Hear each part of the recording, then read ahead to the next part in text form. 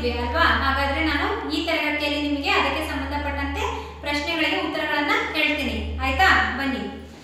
ನೋಡಿ. ಮೊದಲನೇ ಮೇನಲ್ಲಿ ಈ ಸಾಲುಗಳನ್ನು ಪದ್ಯದಲ್ಲಿರುವಂತೆ ಪೂರ್ಣಗೊಳಿಸುವಂತ ಇದೆ, ಓಕೆ? ಒಂದನೇದು, ಅಳುವ ಕಂದನ ತುಟಿಯು ಹವಳಾದ ಕುಡಿಹಂಗ. ಆಡಿಬಾನನ ಕಂದ ಅಂಗಾಲ ತೊಳೆದೇನ. ಕೂಸು ಇದ್ದ ಮನೆಗೆ ಬೀಸಣಿಗೆ ಯಾತಾಕ. ಕಂದಾನ ಕಿರಿಕಿರಿ ಇಂದೇನು ಹೇಳಲಿ? ಓಕೆ ನೆಕ್ಸ್ಟು ಒಂದೊಂದು ಪದ ವಾಕ್ಯದಲ್ಲಿ ಉತ್ತರ ಬರೆಯಿರಿ. ಮೊದಲನೇ ಕ್ವಶನು ತಾಯಿಯು ಕಂದನ ಅಂಗಾಲನ್ನು ಯಾವುದರಿಂದ ತೊಳೆಯುವುದಾಗಿ ಹೇಳುತ್ತಾಳೆ?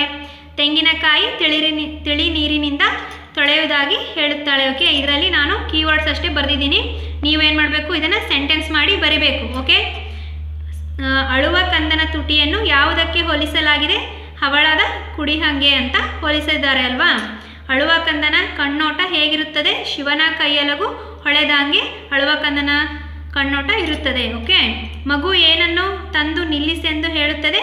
ಮಗು ಚಂದ್ರಮನನ್ನು ತಂದು ನಿಲ್ಲಿಸೆಂದು ಹೇಳ ಕೇಳುತ್ತದೆ, ಓಕೆ? ನೆಕ್ಸ್ಟು ಎರಡು ಮೂರು ವಾಕ್ಯದಲ್ಲಿ ಉತ್ತರಿಸಿ. ಕೂಸು ಇದ್ದ ಮನೆಗೆ ಬೀಸಣಿಗೆ ಬೇಡ, ಏಕೆ? ಕೂಸು ಕಂದಯ್ಯ ಒಳ ಹೊರಗ ಆಡಿದರ ಬೀಸಣಿಗೆ ಗಾಳಿ ಸುಳಿದಾವ. ಅದಕ್ಕೋಸ್ಕರ ಬೇಡ ಓಕೆ ಆಡಿ ಬರುವ ಕಂದನನ್ನು ತಾಯಿ ಹೇಗೆ ಉಪಚರಿಸುವಳು? ಆಡಿ ಬಾ ನನ್ನ ಕಂದ, ಅಂಗಾಲ ತೊಳೆದೇನ?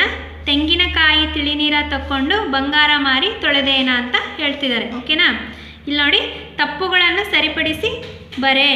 ಬೀಸಣಿಗೆ ಗಾಳಿ ಸುಳಿದವ ಅಂತಿದೆ. ತಪ್ಪಲ್ವಾ ಇದು? ಇಲ್ಲಿರೋದು ತಪ್ಪು. ಸೊ ಬೀಸಣಿಗೆ ಗಾಳಿ ಸುಳಿದಾವ. ದಾನ ಕೆಳಗಿಳಿಸಬೇಕು ಓಕೆ ಕುಡಿ ಹೂ, ಕುಡಿ ಹುಬ್ಬು ಬೇವಿನ ಹೆಸಳಾಂಗ ಅಂತಿದೆ. ಇದು ರಾಂಗ್ ಸೆಂಟೆನ್ಸ್ ಸೊ ಕುಡಿ ಹುಬ್ಬು ಬೇವಿನ ಎಸಳಾಂಗ ಅಂತ ಈ ಥರ ಕರೆಕ್ಟಾಗಿ ಬರಿಬೇಕು. ಒತ್ತಕ್ಷರಗಳನ್ನೆಲ್ಲ ಹಾಕಿ. ಚಂದಮನ ತಂದು ನಿಲ್ಲಿಸೆಂದ ಅಂತಿದೆ. ಚಂದ್ರಮನ ತಂದು ನಿಲ್ಲಿಸೆಂದ ಅಂತ ಮಾಡಬೇಕು ಸರಿಯಾಗಿ. ಈ ಸಾಲುಗಳನ್ನು ನಕಲು ಮಾಡು ಅಂತಿದೆ. ಇಲ್ಲಿ ಯಾವ ಲೈನ್ ಇದೆನೋ, ಆಡಿ ನನ್ನ ಕಂದ ಅಂಗಾಲ ತೊಳೆದೇನ. ಇದನ್ನೇ ನೀವು ಮತ್ತೊಂದು ಸಲ ಬರಿಬೇಕು. ಕುಡಿ ಹುಬ್ಬು ಬೇವಿನ ಹೆಸಳಾಂಗ. ಓಕೆ? ಇದನ್ನು ಕೂಡ ಬರಿಬೇಕು. ಈ ಪದ್ಯದಲ್ಲಿ ಒತ್ತಕ್ಷರಗಳಿರುವ ಪದಗಳನ್ನು ಬರೆಯಂತಿದೆ. ಇದರಲ್ಲಿ ಇದ್ದ, ಕಂದಯ್ಯ, ತಕ್ಕೊಂಡು, ಕುಡಿಹುಬ್ಬು, ಬೇವಿನ ಹೆಸಳಾಂಗ, ಕಣ್ಣೋಟ ಅನ್ನುವಂಥ ಪದಗಳನ್ನು ನಾವು ಒತ್ತಕ್ಷರಗಳನ್ನು ಬರೆದಿದ್ದೀವಿ.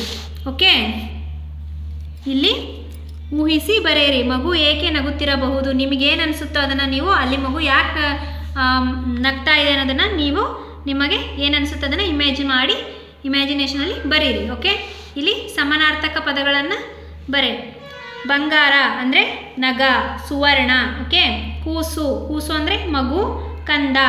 ತಾಯಿ ಅಂದರೆ ಅವ್ವ, ಅಮ್ಮ ಓಕೆ ಈ ವಾಕ್ಯದಲ್ಲಿ ಅಡಿಗೆರೆ ಹಾಕಿದ ಪದಗಳಿಗೆ ಗ್ರಾಂಥಿಕ ರೂಪ ಬರೆಯಿರಿ. ಗ್ರಾಂಥಿಕ ಅಂದರೆ ಕರೆಕ್ಟ್ ಆದಂತಹ ಭಾಷೆ. ಇಲ್ಲಿ ಹಳೆಯ ಪ ಆಡು ಭಾಷೆಯಲ್ಲಿದೆ ಈ ಪದ್ಯ ಸೊ ನಾವು ಗ್ರಾಂಥಿಕ ರೂಪಕ್ಕೆ ಬರಿಬೇಕು. ಕೂಸು ಇದ್ದ ಮನಿಗೆ, ಬೀಸಣಿಗೆ ಯಾತಕ ಅಂಡರ್ಲೈನ್ ಮಾಡಿದ್ದಾರೆ ನೋಡಿ ಗೆರೆ ಹಾಕಿದ್ದಾರೆ. ಸೊ ಮನೆಗೆ ಅನ್ನೋದು ಮನೆಗೆ. ಬಂಗಾರ ಮಾರಿ ತೊಳೆದೇನ. ಮಾರಿ ಅನ್ನೋದು ಮುಖ. ಬೀಸಣಿಗೆ ಗಾಳಿ ಸುಳಿದಾವ. ಸುಳಿಯುತ್ತವೆ.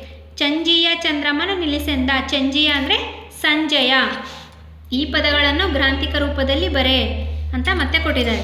ಹೊಳೆದಹಂಗ ಅಂದರೆ ಹೊಳೆದಹಂಗ ಅಂತ ಬರೆದಿದ್ದಾರೆ. ಹೊಳೆದ ಹಾಗೆ. ಕುಡಿಹಂಗ ಕುಡಿಯ ಹಾಗೆ. ಎಸಳಂಗ ಅಂದರೆ ಎಸಳ ಹಾಗೆ ನೆನೆದಂಗ ಅಂದರೆ ನೆನೆದ ಹಾಗೆ ಬಂದ್ಹಂಗ ಅಂದರೆ ಬಂದ ಹಾಗೆ ಕುಳಿದ್ಹಂಗ ಅಂದರೆ ಕುಳಿತ ಹಾಗೆ ಓಕೆ ಅರ್ಥ ಆಯ್ತಲ್ಲ?